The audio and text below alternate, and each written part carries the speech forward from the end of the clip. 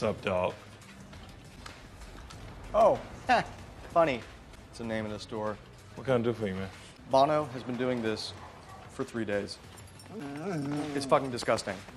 Bring him up here. Bono, Bono, come. Bono, up! Don't you yell at him like that. Oh, okay. Okay, cool. You're gonna, I might just look.